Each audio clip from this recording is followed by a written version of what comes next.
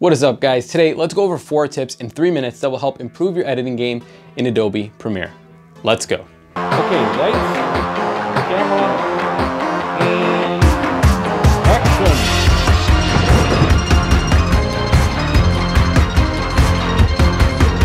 Shawn here, and if you're new to the channel, then thanks for stopping by. Remember to hit that like button and subscribe so you can get more videos like this one. And if you're returning because you're already subscribed, well then, welcome back.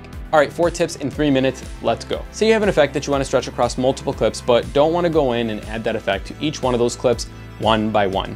Well, my friend, that is where you would use an adjustment layer. Simply head on over to your project window, click new item, then adjustment layer.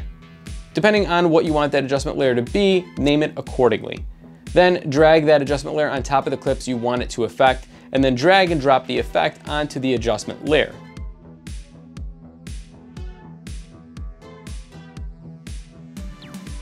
Now all the layers below the adjustment layer have been affected by your effect. Tip number two, get your footage to look more cinematic by adding widescreen bars. Again, this is gonna be done by first adding an adjustment layer to the top of your clips on your timeline. Then you'll head on over to effects and crop, drag crop over to your adjustment layer, then go to the effect controls and adjust top and bottom to around 12.5 to 13. And just like that, your footage looks more cinematic because you added those widescreen bars. Also, because we added the crop to an adjustment layer and not your original footage, you can reposition your footage below the adjustment layer so that nothing important gets cut off by the black bars. Tip number three, cloning or copying your clips on your timeline. In editing, keyboard shortcuts are everything, and the more you know, the faster you can wrap up projects, the quicker you get paid, and the more projects you can take. So say you want to copy a clip on your timeline, simply hold Alt or Option on your keyboard, click on that clip, and then move it over to wherever you want it to be.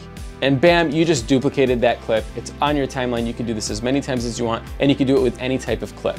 Tip number four, colorize or label your clips. If you've seen any of my other videos, then you know when it comes to editing, I'm a huge fan of organization. A simple way to keep your files organized on your timeline so that it's easier for you to know which clip is which is to just label them with some color. To do that, before you add any clips to your timeline, head over to your project window, right click on your clip and then label and choose your color. Now when you drag that clip to your timeline, you know exactly which clip it is because you've labeled it with a splash of color. All right guys, that was four tips in three minutes-ish.